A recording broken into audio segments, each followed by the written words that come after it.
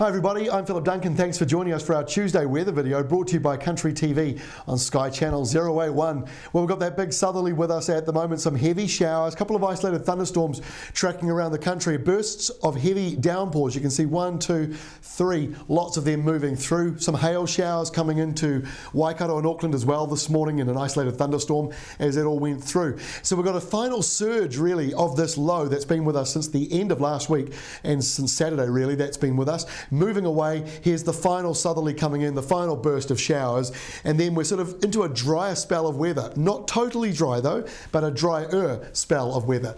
So when we go to the wind and rain maps, you can see here for Wednesday, here's the clearance coming through. Um, first day of winter, although some of you go with the astronomical date, which is still three weeks away, but for those who do celebrate the 1st of June as the first day of winter, it's going to feel wintry. We've got frosts around the South Island. Some of them could be heavy into northern parts of Southland um, down to maybe minus four or five even. Very cold stuff overnight. Tonight in the north, there could be snow showers around the ski fields, and then it clears away we, as we go through the morning. In fact, places like Waikato and Bay of Plenty may be beautiful and sunny as soon as lunchtime, despite all these showers hovering around the coastal areas. They might linger though around Northland, and the showers will also linger around the eastern side of the North Island. Maybe one or two for coastal parts of Southland, but they're also fading away.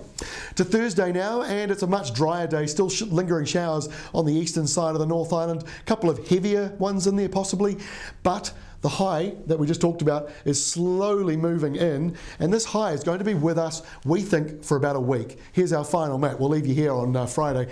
This high rolling in, and it's likely to be with us, as I say, right through to the end of next week. And by the way, as it transitions across us, yes, frosty for a, for a time and cold for a time, but next week, as it moves out to the east, the anticyclonic winds mean that we're going to get a warm subtropical airflow coming down later next week. So you might be kicking off winter in a, a bit of a cold, frosty one or a, or a, showery southerly, but as we get to this time next week, it may be starting to settle down and warm up a little bit. So we're not totally uh, into the big depths of winter just yet anyway.